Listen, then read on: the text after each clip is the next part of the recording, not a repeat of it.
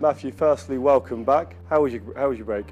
Yeah, um, the break was really good. Um, it's a chance to just have some downtime, have some time to yourself, and go away. If it's with your friends or with, with my missus, I went with. But um, yeah, it was good, and it was good. It was a good time off. You've got the whole squad back in now. and I think you started back last week. How's it been so far? Yeah, it was good. Um, started off uh, last week a bit like a, little bit of easing into it. We had um, like a, a yo-yo test and just like weight testing, stuff like that, um, just to kind of gauge where you are at the moment and um, build a program from there. Coming into the second week now, it's been like ramped up a little bit now, and like the, it's getting it's getting tougher, but it's, it's good. A new face on the coaching team. Has it been a case of beasting you last week, or are you all back up to fitness already? The fitness, I think, comes quite quickly. Um, you, the first couple of sessions, you you know, it, will be a shock to the system, but then you, you get it you get it back quickly, I think, and um, you know the boys are working hard out on the pitch, and think you will see a lot of benefits.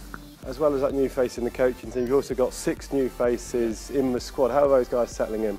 Uh, yeah, um, I think the boys are settling in really well. Um, obviously, I've seen a lot of the forwards, and I think like uh, Craig Mitchell and um, Sam Hobbs, part of the, you know the forwards boys coming in. Um, you know they're going to be real assets to the front row with a lot of knowledge, experienced boys, and then they, they'll be bringing people through as well as pushing standards.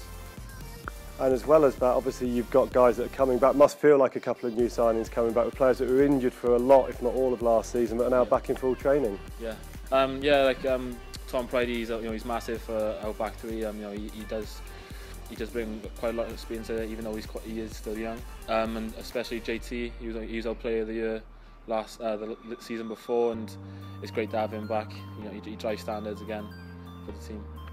And just lastly, a word on Andrew Coombs, obviously a teammate of yours, unfortunately had to retire after a long, long knee injury. Just to comment on his contribution to the Dragons.